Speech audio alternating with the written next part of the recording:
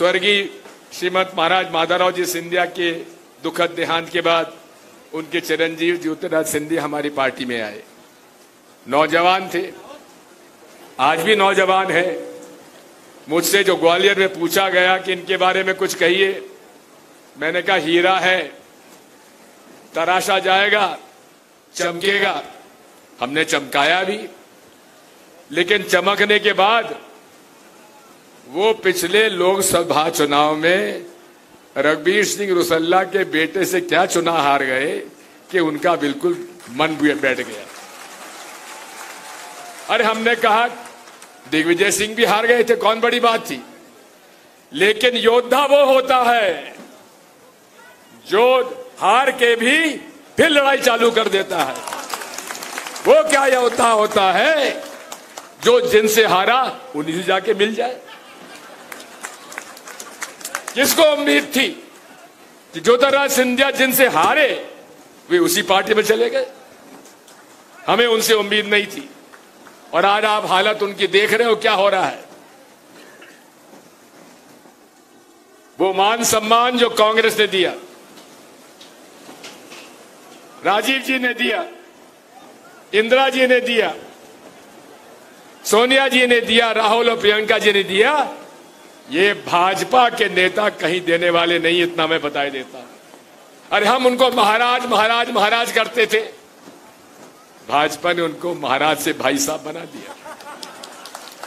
साथियों, मैं आज आपसे इतना कहना चाहता हूँ, कमलनाथ जी, मैंने अशोक नगर में इतनी बड़ी सभा कभी नहीं देखी। बहुत बहुत बधाई। और कांग्रेस पार्टी और भाजपा में केवल एक अंतर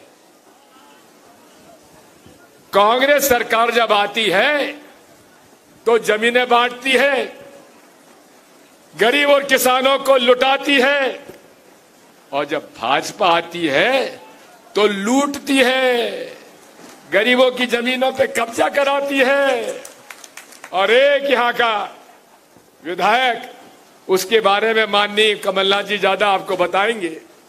अद्भुत है भाई। कितना बहरूपिया देश बदलता है, वही जानता है और यहाँ सोनहर की जनता जानती है। इन्होंने और एक मंत्री मुंगावली के, मुझे बताया कि पीएचई के मंत्री हैं।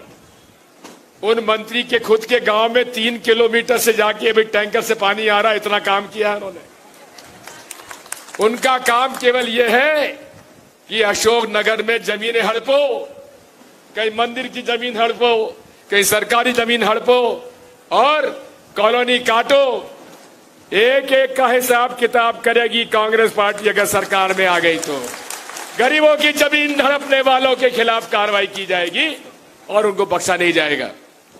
अब आपसे यही प्रार्थना है कि तीनों सीटों पर और तीनों सीटों के आस पार पास भी गुना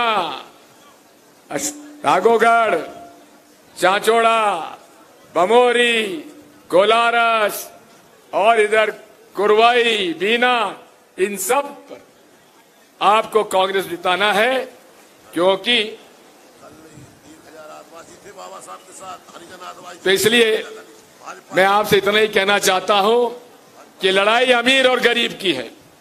ये लड़ाई उनकी है जिन्होंने दलाली करके अरबपति बन गए, खरबपति बन गए। बड़े बड़े लोग, आदमी गरीब आदमी गरीब होता चला गया और अमीर अमीर होते चले गए। ये लड़ाई उसकी है। इस लड़ाई में हम आप सबका सहयोग और मदद चाहते हैं। मैं अब इतना ही समाप्त करते हुए कमलनाथ जी को धन्यवाद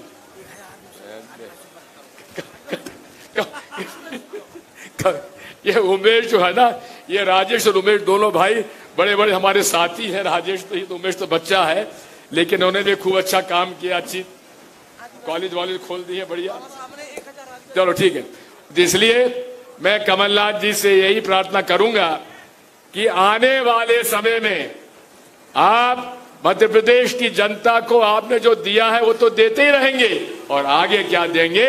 उसका विवरण करें। आपको मैं आमंत्रित करता हूँ। बहुत बहुत धन्यवाद। भारत माता की। भरवत भारत माता की। चल रहा है? आदरणीय कमलनाथ जी। मध्य प्रदेश में विधानसभा चुनाव के पूर्व नेताओं ने एक दूसरे पर तीक्ष्ण टिप्पणियाँ करने का कोई मौका नहीं छोड़ा है। शुक्रवार को पूर्व मुख्यमंत्री दिग्विजय सिंह ने अशोकनगर में ज्योतिरादित्य सिंधिया पर कठोर टिप्पणियाँ की। वे यहाँ कांग्रेस की संविधान बचाओ सभा को संबोधित कर रहे थे, जिसमें कमलनाथ और दिग्विजय सिंह भी शामिल थे।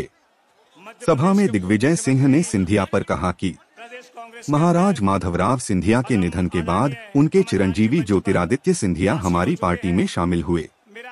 वे युवा थे और आज भी युवा हैं। मैंने ग्वालियर में पूछा गया कि मैंने कहा, वह एक मुद्दा है, जिसे संवारना होगा, वह चमकेगा, और हमने उसे वाकई चमकाया। लेकिन चमकने के बाद, उन्होंने पिछले लोकसभा चुनाव में रघुवीर सिंह रुसल्ला के बेटे के पी यादव से हार का सामना किया, जिसके परिणामस्वरूप उनका मन टूट गया। आइए, मैंने कहा कि दिग्विजय सिंह भी हारे थे। क्या बड़ी बात है। योद्धा वह होता है जो हार कर भी लड़ने के लिए तैयार हो जाए। योद्धा वह नहीं होता है जो दुश्मन से हार कर उसके साथ मिल जाए। किसको उम्मीद थी कि ज्योतिरादित्य सिंधिया जिससे हारे थे? वही पार्टी में चले जाएँगे। हमें भी यह उम्मीद नहीं थी। जो सम्मान कांग्रेस ने दिया। राजीव गांधी, इंदिरा गांधी, सोनिया गांधी और राहुल गांधी ने दिया, लेकिन भाजपा के नेता कहीं सम्मान नहीं दिया। हम लोग उन्हें महाराज महाराज कहते थे, लेकिन भाजपा ने उन्हें भाई साहब बना दिया। कांग्रेस गरीबों की भूमि बनाती है, जबकि भाजपा उनकी भूमि पर कब्जा कर लेती है। दिग्विजय सिंह ने कहा कि अशोकनगर में मैंने इससे पहले इतनी बड़ी सभा कभी नहीं देखी है। भाजपा और कांग्रेस के बीच यह विशेष अंतर है कि कांग्रेस आकर्षण देती है गरीबों की भूमि को बनाने के लिए, जबकि जब भाजपा आती है तो वह गरीबों की भूमि पर कब्जा कर लेती है। उन्होंने विधायक जज्जी पर नाम लिए बिना हमला बोला। कहा कि कमलनाथ जी आपको विधायक के बारे में बताएँगे, यह अद्भुत है। वह कितना रुख बदलता है यह वही जानता है या फिर यहाँ की जनता जानती है। पीएचई मंत्री के गाँव में टैंकर से पानी लाया जा रहा है। उन्होंने राज्य मंत्री मंत्री ब्रिजेंद्र सिंह यादव पर भी हमला बोला और कहा कि वह पीएचई मंत्री हैं, लेकिन उनके गाँव में तीन किलोमीटर दूर से टैंकर से पानी लाया जा रहा है। यह उन्होंने काम किया है। उनका विकास केवल इतना है कि अशोकनगर में गरीबों की भूमि और सरकारी भूमि को हड़पों और कॉलोनियों में बांट दिया।